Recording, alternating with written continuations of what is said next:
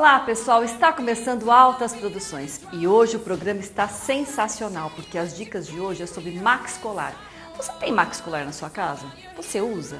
Eu adoro, tô até com o meu aqui já no meu pescoço me garantindo porque a tendência de hoje é Max Colar, simplesmente Max Colar.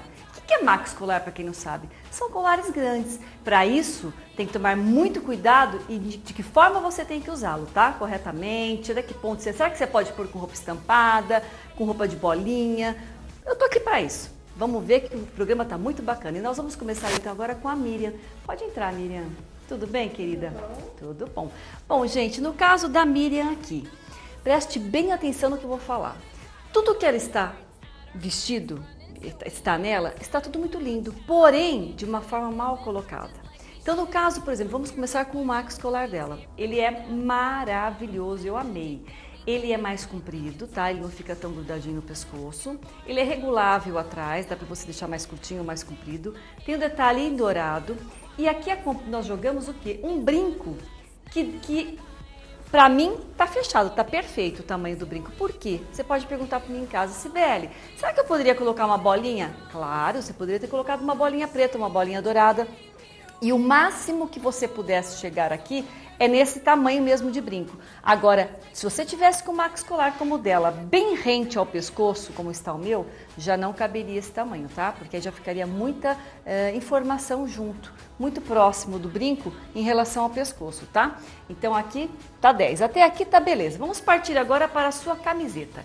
Ela está com uma malha em tie-dye. Para quem não sabe em caso que é tie-dye, é aqueles trabalhos todos em tecidos manchados, como é o caso dela aqui. Começa com verde e vai até o caque. Aí tem detalhe de renda, aí tem o detalhe do, do, do, do da estamparia todo no metal dourado, tá?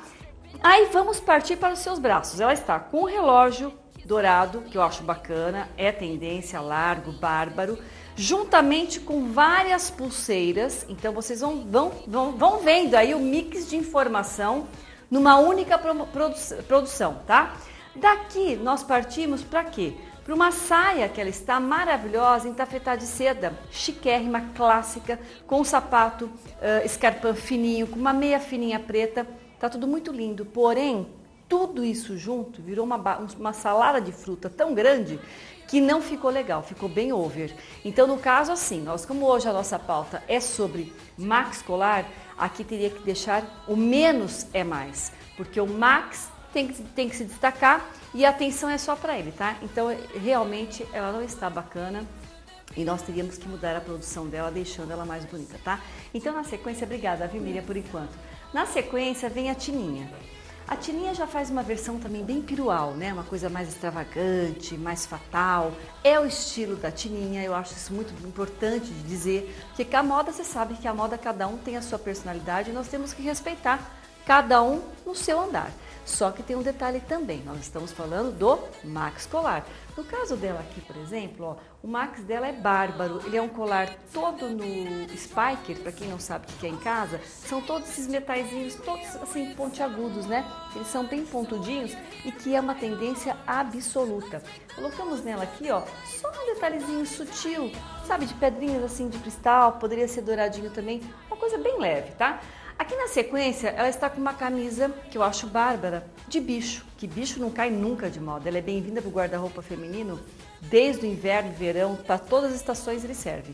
Mas também nós colocamos uma saia de franja. Será que pode colocar de repente a estampa com um colar, com esta saia franjada? Então assim, claro que não pode, gente. É muita informação para um único ser humano, né? Então a gente tem que ir devagarzinho isso daí para você não se prejudicar na sua produção. Por mais que você seja arrojada, eu acho que a gente tem que aprender a dar esse, essas pinceladinhas com calma, com cautela, para você ficar mais bonita também, tá?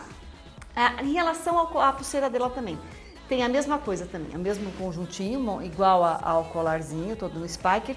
Isso eu acho muito bacana, que é aquele anel que seria o 3 em 1, tá? Você coloca em dois dedinhos e faz a via de três anéis. Acho isso muito show, é bárbaro, tá? é super bem-vindo, mas do jeito que ela está com a produção dela, não está cabível, está por demais.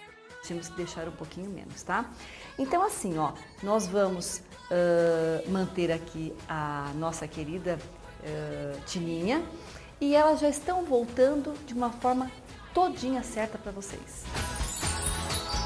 Bem, pessoal, olha só a diferença que a Miriam está. Pode chegar aqui, Miriam. Olha que show de produção. Agora sim vocês vão entender o que eu estava querendo dizer para vocês antes, né? Ela não estava cheia de informação, era muita produção, né? Tava um balaio de gato, mas olha a diferença. Nós estamos com o mesmo max colar, tá? Em preto e branco é o mesmo. Nós pusemos o quê? O mesmo brinco, tá? Brinco preto com dourado. Joguei o quê? Uma camisa de chiffon, bem transparente, sutiãzinho cor da pele, isso é importante dizer, ou mesmo preto ficaria bom. Nós mantivemos o mesmo relógio, tá? E as mesmas pulseiras. Então isso faz com que, com que o ar da situação dela aqui ficou muito mais clássico, muito mais uh, social, ela ficou muito mais arrumada. Outra dica legal também, eu coloquei um pouquinho só, deixando o blusê bem sutil, você pega como quem não quer nada, ó, só enfia um pouquinho assim na, na, na, saia, do jeito que cai o tecido, vocês podem deixar. Se ficar meio pro cantinho, tudo bem, se ficar no meio também, tudo bem, porque é um para não deixar aquela camisa, sabe aquela camisa solta, meio masculina, tá? Não, não fica tão feminina, então assim dá uma bossa mais graciosa na produção. Nós mantivemos a mesma saia, com a mesma meia e o mesmo sapato, gente. Então assim, é, eu, nós fomos só é, limpando um pouquinho mais a sua produção. Que, que, qual foi a transformação que eu fiz nela? Foi a blusa, tá? Para vocês entenderem qual foi o foco que estava atrapalhando aí. Foi a blusa dela. Ela era uma blusa de malha que não combina com o tecido de baixo, tá? O tecido de baixo era uma seda, é, aqui embaixo é um tafetá de seda amassadinha, que não, não combina com a mesma linguagem do tecido de malha, tá? Então aquela peça era muito esportiva demais para a sua produção uh, de baixo, tá?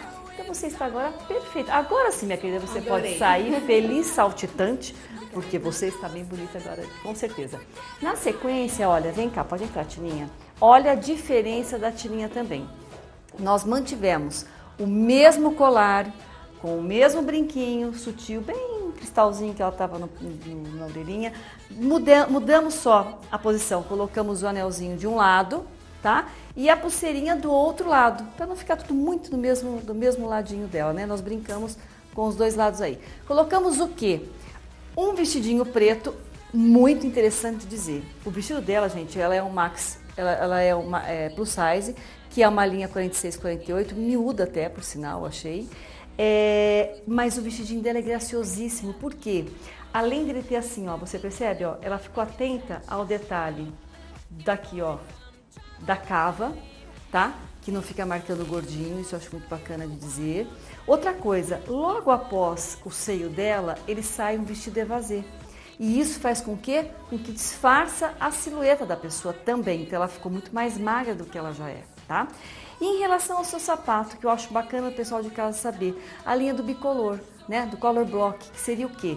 Nós estamos brincando com uma sandália dela em turquesa, jogamos a roupa dela em preta e colocamos o colar dela no coral. Então deu uma suavizada, deu uma leveza aí e um colorido a mais, porque ela está com uma peça preta. Então tudo que remete ao preto, você pode explorar N cores, porque o preto é bem-vindo. Como eu digo sempre, o preto e a cor branca são peças chaves no seu guarda-roupa para você poder brincar com um leque de informações aí, tá?